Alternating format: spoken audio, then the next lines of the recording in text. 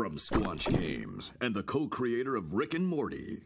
Hey, what's up, everybody? I'm Bathtub Guy, and we're here at E3 to take some looks at this new game I'm going to show you right now Trover Saves the Universe. Let's give it a look.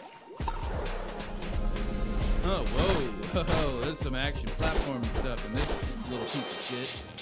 I'm the bathtub guy. I'm always in my bathtub, but you know, that's not about me right now. It's about this game. Whoa, look at that. Exciting footage I just saw. Oh, I'm playing it right now. Look at me. I'm a cool cucumber over here playing this cool game. Oh, oh. Jesus Christ!